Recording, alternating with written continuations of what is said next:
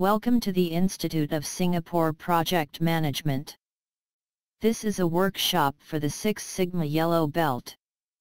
Let us begin with an introduction to Six Sigma.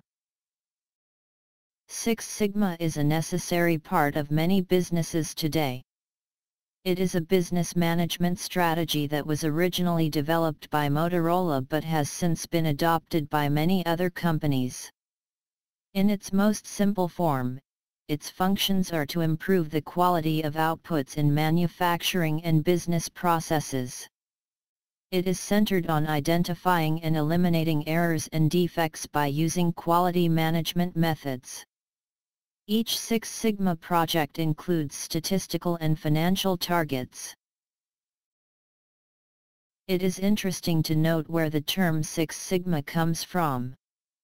It actually originates from the idea that if you have six standard deviations between the specified limit and the mean, that every item will meet specifications. This is based on capability studies that measure standard deviation in sigma units. It is a math function that represents being efficient. Six Sigma projects usually follow two main methods, the DMAIC and the DMADV. They each have five phases and some similar processes. DMAIC is used primarily for improving existing business processes, while DMADV is used for creating new products and process designs.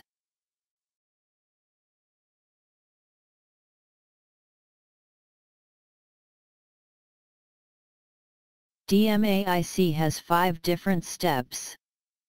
The first is to define high-level goals and identify the current processes. Next is to measure the key parts of the current process and collect data that is relevant to the project. The next step is to analyze data to confirm cause and effect relationships. You have to find out what the relationships mean, and try and consider all of the factors. Next is to improve the process based on the previous analysis of the findings. Last step to DMAIC is to control to make sure that there are no deviations from the target.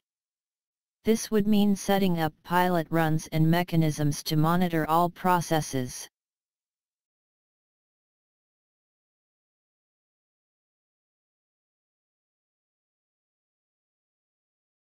DMADV has a similar first step in that it is to define goals for design that will meet strategy for customer demands.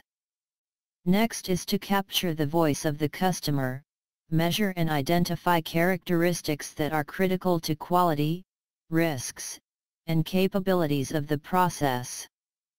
Following that is analysis to find design alternatives, and to make a high-level design approach to select the best choice. Last is to verify the design, do some test runs, and put the production process to work and then give it back to the owners. The hierarchy to Six Sigma is set up much like martial arts with black belts, green belts and yellow belts. At the top of the hierarchy are the master black belts. It is a vertical leadership model starting at the top with the executive leadership, and trickles down from the master black belts to the yellow belts.